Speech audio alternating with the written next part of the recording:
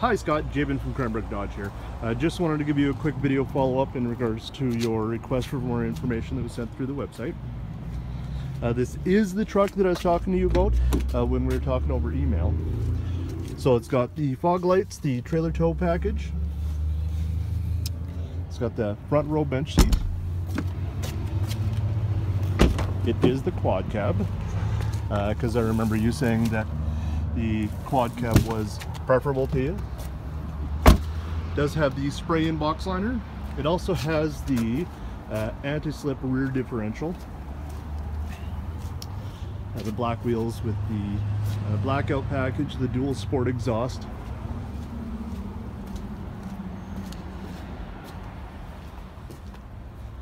Anyway, if you have any questions, 250-426-6614.